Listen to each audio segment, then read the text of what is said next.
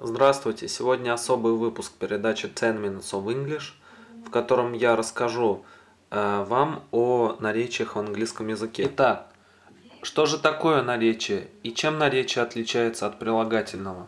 Итак, наречие – это значимая часть речи, которая обозначает условие или обозначает обстоятельство, в котором действие протекает. Наречие, как правило, характеризует глагол – прилагательное или другое наречие. Прилагательное, в свою очередь, может характеризовать существительное. Давайте рассмотрим пример того, когда наречие относится к глаголу.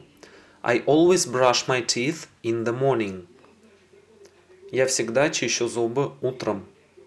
В данном случае наречие always относится к глаголу brush.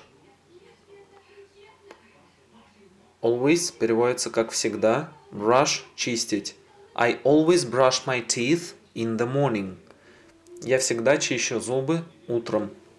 Давайте рассмотрим следующий пример, когда наречие относится к прилагательному. He is a very good student. В данном случае наречие very относится к прилагательному good. Very – очень, good – хороший. He is a very good student. Он очень хороший студент. Давайте рассмотрим последний пример – когда наречие относится к другому наречию. This work is done quite well.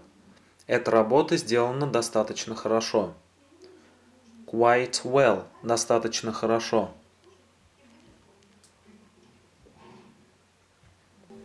Выделяют несколько групп наречий. Рассмотрим первую группу наречий, которая называется наречие места.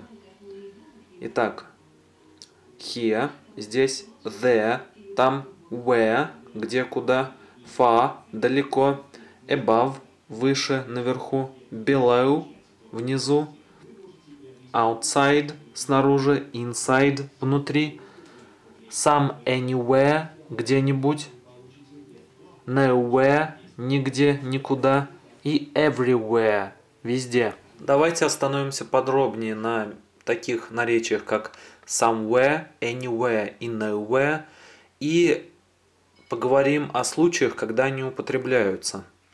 Итак, наречие somewhere, которое переводится где-нибудь, обычно употребляется в утвердительных предложениях. He went somewhere yesterday. Он шел куда-то вчера. Наречие anywhere, как правило, употребляется в отрицаниях или вопросах. He didn't go anywhere yesterday. Он никуда не ходил вчера. Did he go anywhere yesterday? Он куда-нибудь ходил вчера? Наречие nowhere является своеобразным эквивалентом наречия anywhere в отрицаниях. Рассмотрим следующие примеры. He didn't go anywhere yesterday. He went nowhere yesterday. Оба примера переводятся как он никуда не ходил вчера. В случае употребления наречия anywhere глагол трансформируется в отрицание и используется вспомогательный глагол didn't. В случае употребления наречия nowhere, как мы видим, у глагола нет никаких трансформаций.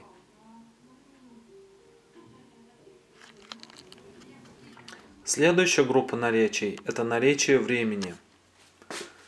Today – сегодня, tomorrow – завтра, yesterday – вчера, soon – скоро, when – когда, since – с тех пор как, before – до, after – после, now – сейчас, late – поздно, lately или recently – недавно, still – все еще, then – затем, once – однажды, already – уже, just – только что, yet – еще или уже. А сейчас давайте поговорим о порядке слов. Дело в том, что э, некоторые наречия могут употребляться только в начале или только в конце – или и в начале, и в конце. Следующие три наречия могут употребляться и в начале, и в конце предложения. Today – сегодня. Tomorrow – завтра. Yesterday – вчера. Давайте рассмотрим следующие примеры.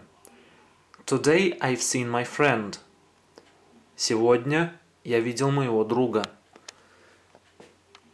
С наречием времени сегодня мы можем использовать и такой порядок слов. I've seen my friend today. Следующий пример. Tomorrow I will see my friend. Завтра я увижу своего друга. С этим наречием мы тоже можем употреблять такой же порядок слов. I will see my friend tomorrow.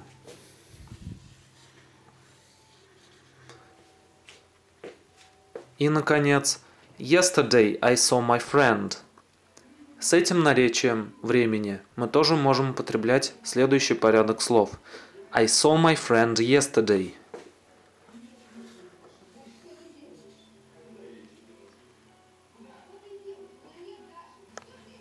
Такие наречия, как before – раньше и lately – в последнее время, ставятся обычно в конце предложения. Давайте рассмотрим следующие примеры.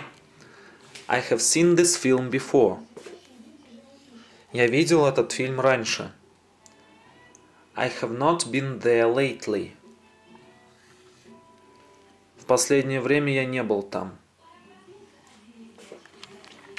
Наречие yet обычно ставится в конце предложения, будь то вопрос, в котором наречие yet переводится как уже, или Отрицательное предложение, в котором наречие yet переводится как еще. Рассмотрим следующие примеры. I haven't done my homework yet. Have you done your homework yet? Я не сделал мое домашнее задание еще. Ты уже сделал свое домашнее задание? Как мы видим, наречие yet ставится в конце предложения. Следующая группа наречий называется наречие образа действия. И эта группа наречий отвечает на вопрос how. Давайте перечислим эти наречия. Badly – плохо, очень, сильно. Quickly – быстро. Hard – упорно, настойчиво. Fast – быстро. Quietly – спокойно. Kindly – доброжелательно, любезно. Slowly – медленно, easily – легко, well – хорошо. В случае с глаголами образа действия могут возникать сложности с порядком слов. Если глагол переходный, то э, наречие образа действия обычно ставится до глагола или же после дополнения, прямого дополнения. Наречие никогда не ставится между глаголом и дополнением. Давайте рассмотрим варианты, которые возможны в данном случае. The driver quickly stopped the car. Водитель быстро остановил машину. The driver stopped the car quickly. Водитель остановил машину быстро. Следующая группа наречий называется наречиями меры и степени. Little мало, much, много, so, так, almost, почти, too в значении слишком, hardly в значении едва, scarcely, едва, enough, достаточно.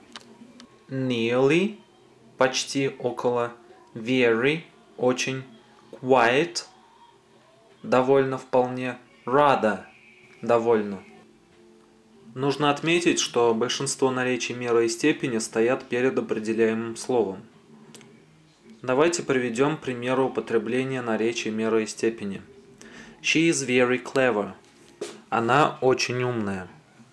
She drives too quickly. Она вводит машину слишком быстро. I hardly know him. Я едва ли знаю его. То есть я его почти не знаю. The tea was rather hot. I didn't like it. Чай был слишком горячий, и мне это не нравилось. Your work is quite alright. Ваша работа достаточно хорошая. Разница в употреблении между наречиями rather и quite такова. Наречие rather мы обычно употребляем с негативным оттенком, и наречие quiet э, с положительным оттенком. Только наречие enough, которое переводится достаточно, обычно ставится после определяемого слова. Рассмотрим следующий пример. The winter was cold enough.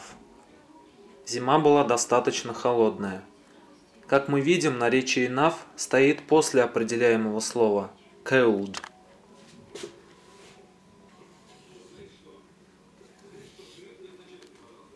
The winter was cold enough.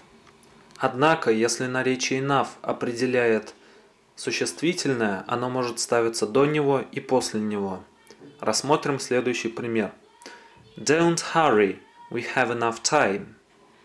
Не торопись, у нас достаточно времени. Мы также можем сказать Don't hurry, we have time enough. Не торопись, у нас достаточно времени. Следующая группа наречий называется вопросительные, то есть это такие наречия, с помощью которых мы задаем вопрос. When – когда, where – где, why – почему, how – как. Следующий вид наречий называется соединительные. Этот вид наречий используется для соединения независимых предложений, а также для соединения частей сложного предложения. So, поэтому, then, затем, besides, кроме того, however, тем не менее, therefore, поэтому, still, все же. Рассмотрим пример использования соединительных наречий. It was late, so I went to bed. Было поздно, поэтому я пошел домой. А сейчас давайте поговорим об образовании наречий.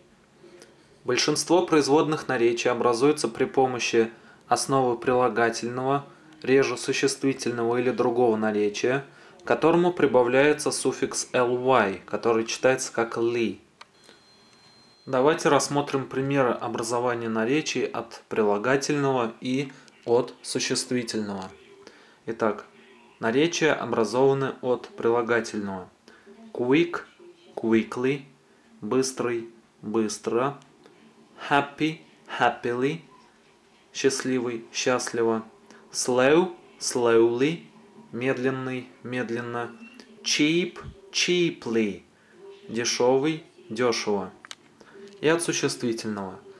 Hour, hourly, час, ежечасно, day, daily, день, ежедневно, year, yearly, год, ежегодно.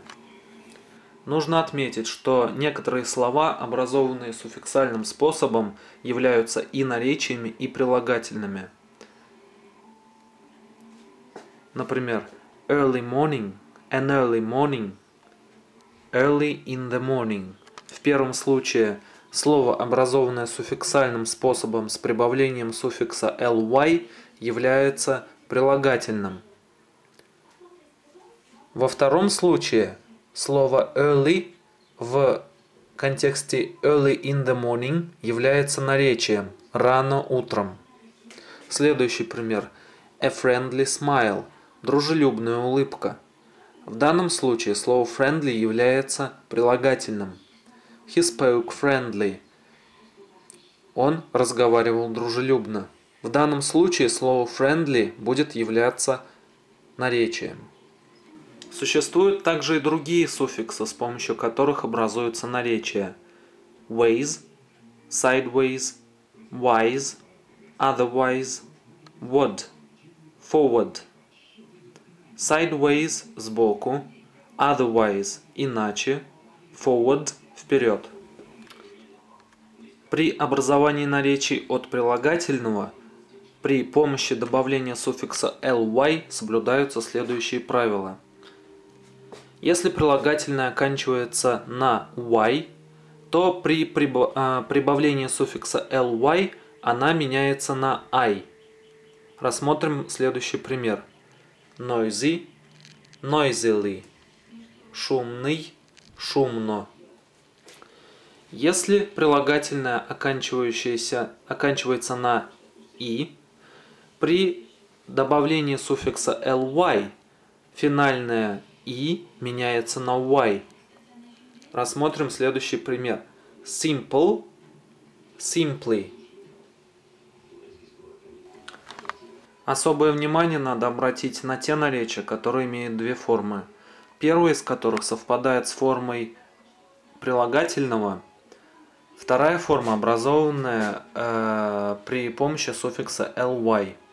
Причем две формы э, наречий обычно имеют разные значения. Например, bad – плохо, badly – плохо, очень сильно, close – близко, closely – тщательно, hard – упорно, hardly – едва ли, high – высоко, highly – весьма, large – широко, largely – в значительной степени, late – поздний, lately – в последнее время, near – близко, nearly – почти, short – резко, shortly – вскоре, незадолго.